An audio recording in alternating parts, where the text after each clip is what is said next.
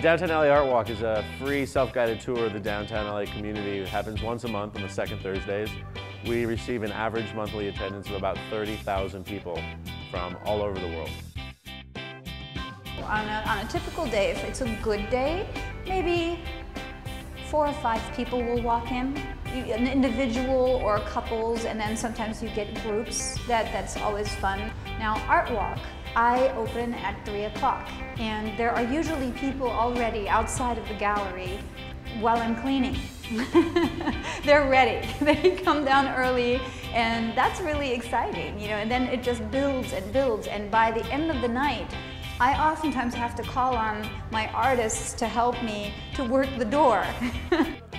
Art Walk attracts a wide group of people from local Angelenos who have been coming here for the past decade, who grew up with us, to travelers from all over the world who have heard about Art Walk and have booked their travels to include this as part of their Southern California experience. It's all kinds of people. I mean, I, I think that there is all kinds of economic uh, levels of people coming here, but I think overall people are coming here because they want an urban, they want an urban sense. And there's nowhere else in LA where you have, you know, taller buildings and you can walk around and you can actually touch elbow, you know, elbows with people and have a real kind of a, a vital urban core feeling. I find that the maps that they have created and the tool of create your own map and build your, your route, your plan for the night is, is tremendously helpful. And also it's, it's taken a lot of the fear of downtown away. People are able to look and at the map and basically the blueprint and see, okay, where are the parking lots? Where is the restaurant? Where are the galleries? And how do I maneuver? It's been one of the, uh, I think, one of the, the great attractions for bringing uh, people from all around the Los Angeles area into downtown. And uh, I think has been one of the chief uh, proponents of making downtown Los Angeles less fearful to people.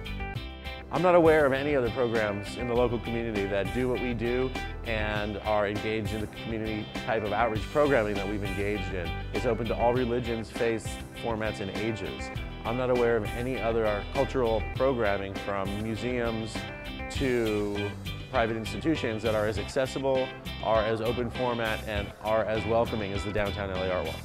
One of the big differences that, that the organization has made in Art Walk that, that Joe and Catherine have contributed is building a bridge between artists and galleries. That's something that a lot of people don't even think of. The question is how does Art Walk help uh, promote artists who haven't necessarily had a, a big, a big uh, following or showing yet?